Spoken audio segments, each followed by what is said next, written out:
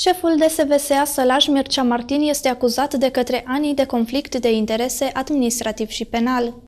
Agenția Națională de Integritate a constatat încălcarea regimului juridic al conflictului de interese în materie administrativă și penală de către Mircea Martin, director executiv în cadrul Direcției Sanitare Veterinare și pentru Siguranța Alimentelor Sălaj. Acesta este acuzat că a încheiat 51 de polițe de asigurare pentru instituția pe care o conduce cu două firme de asigurare la care lucra soția sa.